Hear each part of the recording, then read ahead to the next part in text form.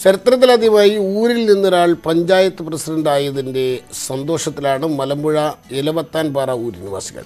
ഊരിലെ രാധിക മാധവനാണ് മലമ്പുഴ പഞ്ചായത്ത് പ്രസിഡന്റായി ഇന്നലെ ചുമതലയേറ്റത്. ഊരിലെ അടിസ്ഥാന പ്രശ്നങ്ങൾക്ക് പരിഹാരം കാണാൻ എല്ലാ ശ്രമവും നടത്തുമെന്ന് രാധിക പറഞ്ഞു.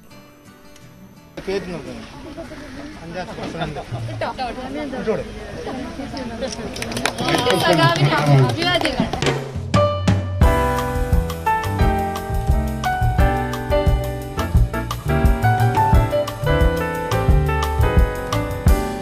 മലമ്പുഴയിലെ എലവത്താൻപാറ കോളനി സന്തോഷത്തിലാണ്.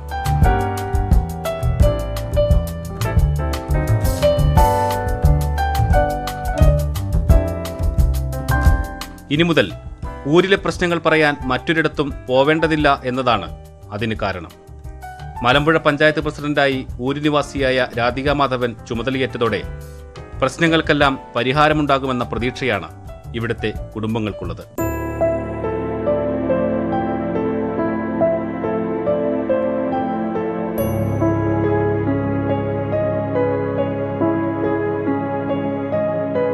പതിനൊന്ന് വീടുകളുള്ള ഈ ഊരിൽ ആകെ രണ്ട് പൊതു കക്കൂസാണുള്ളത്. വീടുകളെല്ലാം ശോചനീയാവസ്ഥയിലാണ്. ഒരു കുടുംബത്തിനും പട്ടയമില്ല. അങ്ങനെ അങ്ങനെ പ്രശ്നങ്ങൾ നിരവധിയാണ്.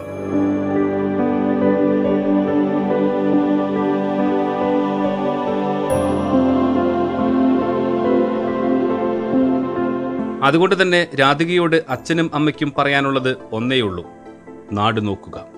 ഞങ്ങൾക്കൊന്നും ചെയ്തില്ലെങ്കിലും ജനങ്ങൾക്ക് എന്ത് അവളുടെ കയ്യിൽ പിന്നെ എന്ത് സഹായം ആ പഞ്ചായത്തിൽ എത്തുന്ന ആ സഹായം ജനങ്ങൾക്ക് എത്തിക്കണമെന്ന് ഞാൻ മോളോട് നേരത്തെ അല്ല ഇതിക്ക് മുമ്പേയും പറഞ്ഞു കൊടുത്തിട്ടുണ്ട്. ഈ ഇലക്ഷന്റെ തലേ ദിവസമൊക്കെ മുമ്പേ അങ്ങനെ പറഞ്ഞു കൊടുത്തിട്ടുണ്ട്. ഇങ്ങനെ ആകുകയാണെങ്കിൽ തന്നെ മെമ്പർ ആണെങ്കിലും പ്രസിഡന്റ് ആകുകയാണെങ്കിൽ തന്നെ നല്ലതേ ആൾക്കാർക്ക് ചെയ്ത് കൊടുക്കാവുള്ളൂ.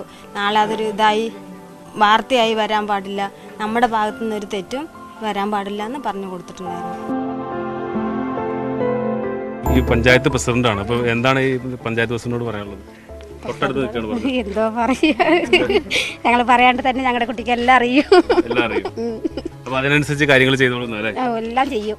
നാടിന്റെ വികസനം തന്നെയാണ് രാധികയുടെ സ്വപ്നവും. അപ്പം ഈ പല വീടുകളും മാറ്റി പണിയേണ്ട ഒരു സാഹചര്യമാണ്. മുമ്പ് സർക്കാർ പദ്ധതിയിൽ തന്നെ വന്നിരിക്കുന്ന വീടുകളാണ്. അതോടൊപ്പം തന്നെ രണ്ട് പൊതു കക്കൂസാണ് ഇവിടെ ഉള്ളത്. എല്ലാ വീട്ടിലും കക്കൂസ് ഇല്ലാത്തതിന്റെ ഒരു പ്രശ്നം സ്ഥലപരിമിതിയാണ് ഒരു പ്രശ്നം. അല്ലാതെ അനുവദിക്കാത്തതല്ല.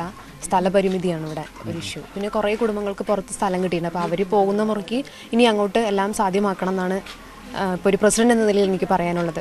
ഒരു അവസരം കിട്ടിയപ്പോഴേ തോന്നിയിരുന്ന മനസ്സിലേക്ക് വന്നിട്ടുണ്ടാവും. ആദ്യം സ്വന്തം കോളനിയിൽ നിന്ന് വികസനം അവിടെ നിന്ന് തന്നെ തുടങ്ങാമല്ലോ അല്ലേ? തീർച്ചയായും തീർച്ചയായും. ഇവിടെ നിന്ന് തുടങ്ങണം. ഇപ്പോൾ വന്ന വഴി നിങ്ങളൊക്കെ കണ്ടതല്ലേ? അതായത് ഞങ്ങൾ ഒരാൾ വരുമ്പോൾ വേറൊരാൾ മാറിക്കൊടുക്കണം. അങ്ങനത്തെ അവസ്ഥയാണ്. ബൈക്കൊക്കെ ഇടുങ്ങിയ വഴി കൂടെ വരിക. അപ്പോൾ അതിനൊരു കാതലായ മാറ്റം ഉണ്ടാവണം. ഈ വഴിയൊക്കെ നേരെയാക്കണം ഇവിടുത്തെ വീടുകൾ ഈ അവസ്ഥയെ മൊത്തത്തിൽ മാറ്റണം. എല്ലാവരുടെയും ആവശ്യം ഈ നമ്മുടെ അടിസ്ഥാന ആവശ്യങ്ങൾ തന്നെയാണ് അല്ലെ വീട് അതോടൊപ്പം തന്നെ കക്കൂസ് വഴി അത്തരം കാര്യങ്ങളാണ്. അപ്പം അതിനുള്ള എല്ലാ ഇവിടുത്തെ പ്രധാന പ്രശ്നങ്ങൾ അതിനെയൊക്കെ എന്തായാലും നിരന്തര ശ്രമങ്ങൾ നടത്തി മാറ്റം കൊണ്ടുവരിക തന്നെ ചെയ്യും.